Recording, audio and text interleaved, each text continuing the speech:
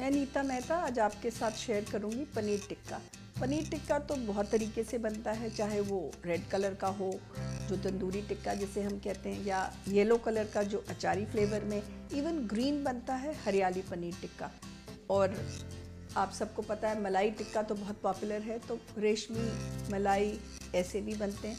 तो चलिए आज मैं बनाती हूँ अचारी पनीर टिक्का। पर इस टिक्के को सीखने के बाद आप कोई भी टिक्का बना सकेंगे अचारी पनीर टिक्का बनाने के लिए 200 ग्राम पनीर, आधा कप दही मलमल के कपड़े में आधे घंटे के लिए टांग लें। एक छोटा चम्मच अदरक लहसुन का पेस्ट, एक बड़ा चम्मच कॉर्नफ्लावर। अचारी मसाला बनाने के लिए एक छोटा चम्मच सौंफ, आधा छोटा चम्मच जीरा, वन फोर्थ छोटा चम्मच राई या सरसों, वन फोर्थ छोटा चम्मच कलौंजी। एक प्याज बारीक कटा हुआ, एक हरी मिर्च बारीक कटी हुई, आधा छोटा चम्मच हल्दी, आधा छोटा चम्मच लाल मिर्च पाउडर एक बड़ा चम्मच नीता मेहता तंदूरी टिक्का मसाला, नमक स्वाद अनुसार। तो सबसे पहले हमें अचारी फ्लेवर्स की नॉलेज होनी चाहिए। तो उसके लिए मैं थोड़ा सा जो स्पाइसेस हैं, उन्हें रोस्ट करूँगी, जो अचारी स्पाइसेस हैं। अब हम अचार में क्या क्या डालते हैं? सौंफ। तो सबसे पहले मैंने डाल दिया एक चम्मच सौंफ। जीरा, उससे कम। अगर एक चम्मच सौंफ है तो जीरा, आधा चम्मच। राई या सरसों, उससे भी कम तो वन फोर्थ टीस्पून राई या सरसों। कलौजी राई सरसों के बराबर वन फोर्थ टीस्पून इन सबको मैं थोड़ा सा ड्राई रोस्ट करूँगी और फिर मैं इसे दरदरा कूट लूँगी। कभी कभी अगर आपको जल्दी है तो आप इन सब चीज़ों की जगह क्या इस्तेमाल करेंगे? आम के अचार का मसाला भी आप ले सकते हैं इसकी जगह। पर आजकल ज़रा लोगों ने अचार खाना फॉर हेल्थ रीजंस कम कर दिया है। जैसे मैं अपने घर में ज़रा अचार कम रखती हूँ। So I prefer doing this कि मैं ये अचार के जो स्पाइसेस हैं, उन्हें रोस्ट करके अपने टिक्के में डाल दूँ। बस ज़्यादा नहीं रोस्ट करना, आपने देखना है जो सौंफ है, वो काली ना हो और सिर्फ़ थोड़ी फ्रेगरेंस अरोमा आने लगे इन चीज़ों का।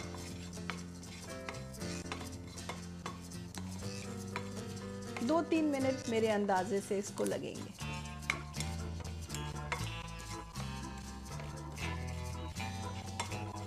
बेसिकली सौंफ का ज़्यादा अरोमा आता है।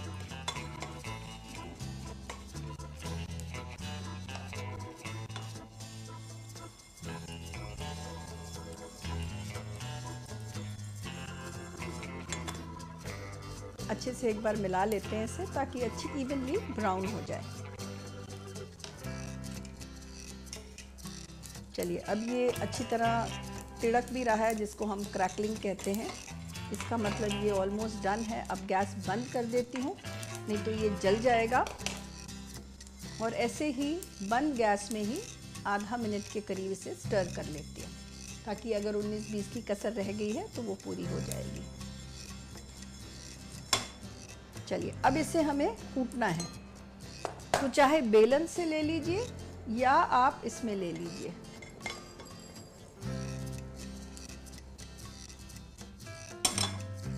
थोड़ा सा ठंडा हो जाएगा तो इसे हम कूट लेंगे। उतनी देर में थोड़ा सा और काम है अचारी फ्लेवरिंग के लिए। सबसे पहले आप तेल गरम करिए थोड़ा सा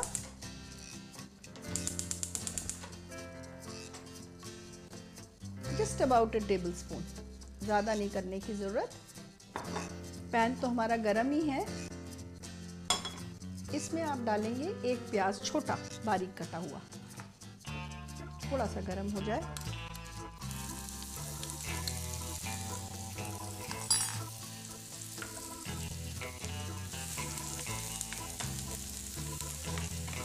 टिक्के हम स्नैक्स की तरह खाते हैं तो इसलिए थोड़ी सी हरी मिर्ची इसके अंदर अच्छी लगती है।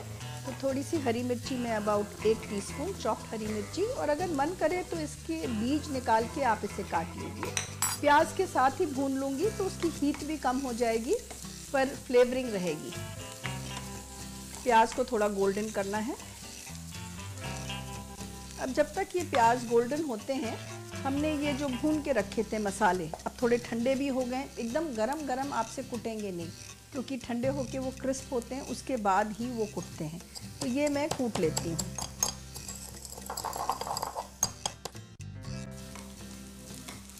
प्याज ने रंग बदल लिया है थोड़ा सा और गोल्डन कर लेते हैं इसे। बहुत लाइट मत रखिएगा। बस इसके अंदर अब हम डालेंगे जो हमारे कुटे हुए जो ये अचारी फ्लेवरिंग्स थी सारी।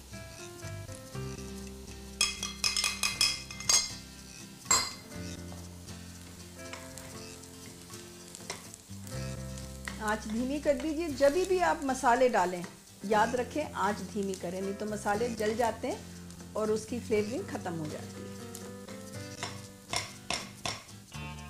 इसके अंदर अब हम डालेंगे थोड़ी सी हल्दी। अचारी है तो हमें हल्दी का पीला रंग चाहिए।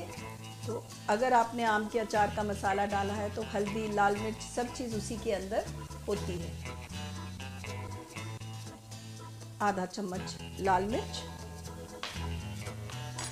इसे मिला लीजिए अच्छे से। और अब आप गैस बंद कर दीजिए।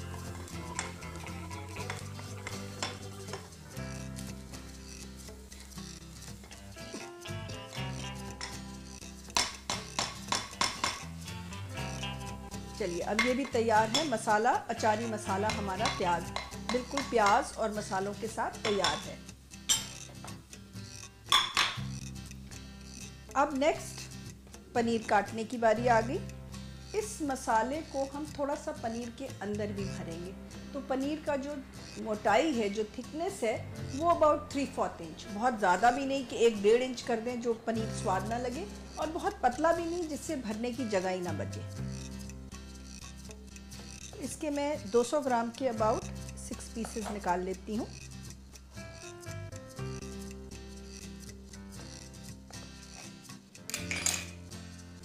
ये अबाउट थ्री फोर्थ इंच के करीब पनीर है। इसको आप बीच में से कट करेंगे। पनीर के पीसेस अब हमने कर लिए हैं और इसे अब आप स्लिट कर दीजिए। ऑलमोस्ट टिल द एंड इस तरह इसको काट लीजिए।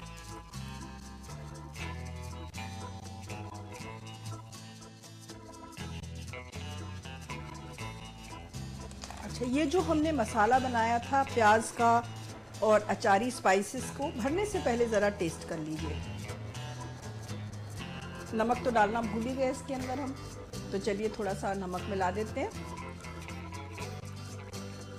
और अभी ये खट्टा नहीं लग रहा, तीखा लग रहा है। मैंने खट्टा इसलिए नहीं डाला कि अगर आप आम का अचार का मसाला एक्चुअली डालेंगे तो फिर आपको खटाई डालने की ज़रूरत नहीं अगर आप ऐसे बना रहे हैं तो इसके अंदर थोड़ा सा नीता मेहता चाट मसाला मिला सकते हैं, या आप अमचूर मिला सकते हैं, या थोड़ा सा नींबू का रस भी मिला सकते हैं, क्योंकि थोड़ी सी खटास होनी ज़रूरी है मसाले में।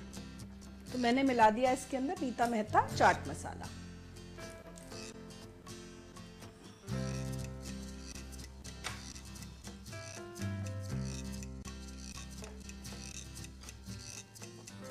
चलिए, अब इसको एक बार फिर से खा के देख लेते हैं, इसका टेस्ट कैसा आया है। अब बढ़िया लग रहा है। नमक भी ठीक है, खटास भी आ गई है, और अचारी फ्लेवरिंग्स तो हैं ही, सॉफ वगैरह की।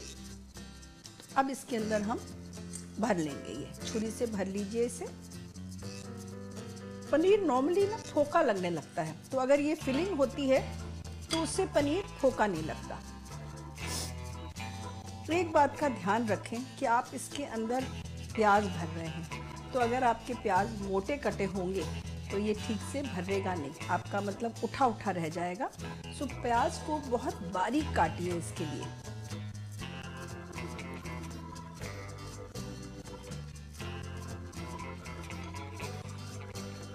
ऐसे अच्छे से दबा दीजिए। कोई भी चीज़ भरनी हो कभी भी किसी में भरने से पहले उसे ज़रा ज़रूर टेस्ट करिए। क्योंकि बहुत बार होता है हम कुछ डालना भूल जाते हैं, पर एक बार अगर अंदर डाल दें उसके अंदर फिलिंग तो फिर हम कुछ नहीं कर सकते। So it's always better to taste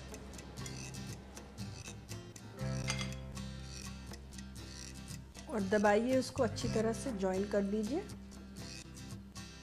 ऐसे आप सारे भर लीजिए। आप सोच रहे होंगे कि मसाला इतना ज़्यादा है और पनीर तो थोड़ा सा ही है पर ये मसाला जो है हम मैरिनेड में भी बनाएँगे अभी आप देखेंगे।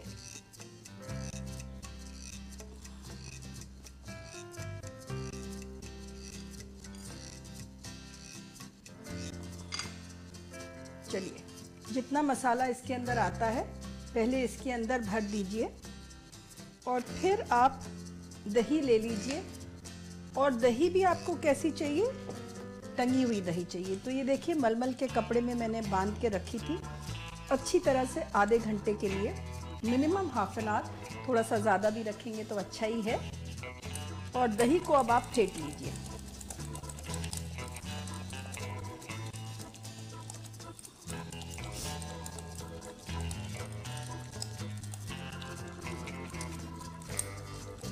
अब इसमें हम डालेंगे सॉल्ट थोड़ा सा बाइंडिंग के लिए इसके अंदर हम डालेंगे कॉर्नफ्लावर अदरक लहसन तो बहुत ज़रूरी है तो एक टीस्पून अदरक लहसन।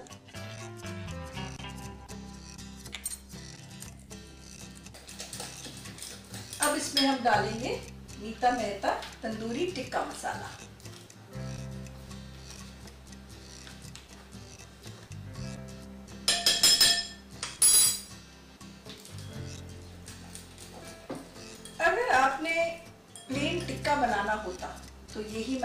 काफ़ी होता। सिर्फ़ आप इसमें ऑरेंज कलर मिला देते थोड़ा सा और थोड़ा सा तेल भी इसमें मिलाते about one tablespoon colour हम इसलिए नहीं मिला रहे क्योंकि हमें ऑरेंज नहीं चाहिए, हमें येलो कलर चाहिए तो हल्दी हमने डाली हुई है ऑलरेडी और तेल हम इसलिए नहीं मिला रहे क्योंकि जो ये मसाला बनाया था, इसमें ऑलरेडी तेल चला गया है। तो ये बेसिक मैरिनेट में आप ये जो मसाला हमने बनाया था, प्याज और अचारी मसाला ये इसमें मिला दीजिए। पर याद रहे, ये ठंडा होना चाहिए।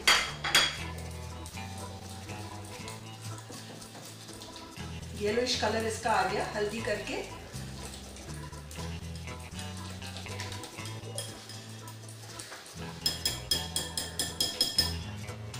ये आपका मैरिनेट भी तैयार है। और अब इसको भी आप एक बार टेस्ट कर लीजिए। बिल्कुल ठीक है। स्पाइसी खाते हैं। थोड़ा सा मसाला और मिला लीजिए। मुझे तो बिल्कुल ठीक लग रहा है। एक टीस्पून भर के मैंने डाल दिया था इसमें। अब ये जो पनीर के पीसेस हैं, जो आपके स्टफ्ड हैं, उसे इस मैरिनेट में डालिए। अच्छी तरह से इसके अंदर घुमाइए, ताकि ये जो मैरिनेट है आपका, अच्छी तरह से कोट हो जाए। और इसे फिर आप ग्रिल रैक पे रख के और इसे अबाउट 15-20 मिनट ग्रिल कर लीजिए। इसी तरह से आप रैक पे सारे टिक्के अरेंज कर दें और रैक को टिक्के रखने से पहले थोड़ा ऑयल से ब्रश कर दें। चलिए अब ये अवन में रखने के लिए तैयार है। इसे हम ग्रिल करेंगे फॉर अबाउट 15 मिनट्स वो लवली बहुत बढ़िया शक्ल आई है। नाइस एंड क्रिस्प चलिए, अभी हम प्रेजेंट करते हैं। टिक्कों को खाने के साथ साथ देखने में भी सुंदर लगने चाहिए तो अच्छा सा प्लेटर ले लीजिए कोई। जैसे ये मैंने लिया हुआ है। एक साइड मैंने मिंट की पत्ती रखी हुई है और इन्हें उठाकर फिर आप अपने प्लेटर पे अरेंज कर दीजिए। टिक्के मुझे थोड़े से उठाने में गर्म लग रहे थे तो चलिए हम टोंग्स ले लेते हैं और टोंग से उठाते हैं। तो उठाने में भी आसानी रहेगी और आपके हाथ भी नहीं जलेंगे।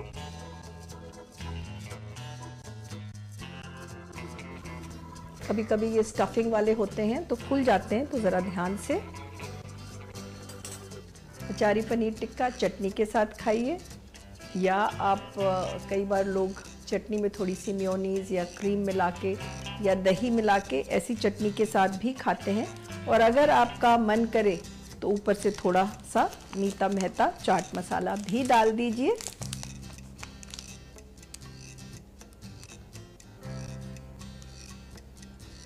अचारी पनीर टिक्के बिल्कुल तैयार हैं। गर्मा गर्म इंजॉय करिए।